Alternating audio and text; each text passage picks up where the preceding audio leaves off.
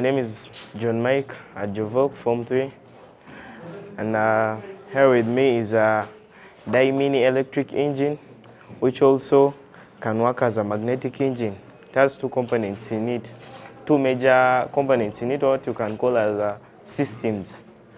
Well, this is, in the society we are living in, even outside there, there are very many cars, and these, most of these cars are powered using uh, these fuel engines. Well, the fuel engines, there are these ones whereby you stop at a petrol station, put in some fuel, combustion takes place, uh, and the car moves. But then, most of you know about Elon Musk. Well, he works in uh, making electric, electric cars. These cars are powered by electric engines, but for them, they don't use engines. For them, instead, they use motors. But right here is a Daimini electric engine or a magnetic engine. Well, here for it, instead of using four motors up the wheels, for it, it uses two motors, and on the other part, it uses uh, neodymium magnets. well, first of all, when you switch it on, even before I go to that, well, the main reason why I created this, the society we are living in, as you know, the fuel engines, uh, all these engines produce uh, fumes. The fumes, once they rise up in the air, they cause air pollution, which isn't environmental friendly. But here is a Daimini electric engine, which doesn't release any fumes. And uh, the only cost it takes, it's just uh, charging the cells, and that's all. But uh, now let me show you the components of which it is comprised. Well, first, these are neodymium magnets. They are pretty rare earth, strong earth magnets. They are not easy to find, but then once you get a chance, trust me, they are strong. And uh, inside here, the other components are two.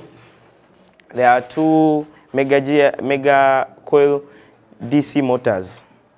Well, they are also good motors. They work very well, and they are good at powering up things like this or other things that really need too much power. Well, first of all, some of you might be wondering, uh, how did I put uh, two parts, whereby one part is of uh, motors and one is of the neodymium magnets. Well, in here, there are, you know, we have a bar, bar gears in a set, in a gear set. There are different gears. There are spiral gears, bar gears. Well, there are very many gears. But in here, I put a base gear, whereby once uh, this rotates, once uh, the magnet, the, once uh, the DC motors rotate, they will power up from the other section. But then, since uh, because of the because of the the base the base gear, it has a for it the gears are facing up. That's why it's called the base gear. Well, as it rotates, it will power up from the other side. Then when, once you switch on these, they will power up from the, the other side, but all making the same spin. Hence powering up the rod, which drives the power to the differential, whereby the differential will drive the, the wheels. The wheels if they were here. But then this is also enough to show you. Well, let me first switch on and you see how it works. And that is one section whereby you use the DC motors. Then uh, for this section, the spin will be almost of the same, but then it will have a different magnitude. And uh, if you're to do that, let me also, as you see, right, it's kind of different, not the same as the first one. And that's, uh, and that's all for this.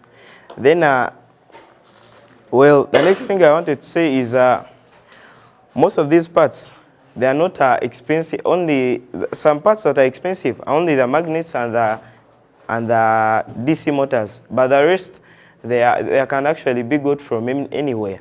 Because as you can see, it's cardboard, some plywood at the bottom, and and other things.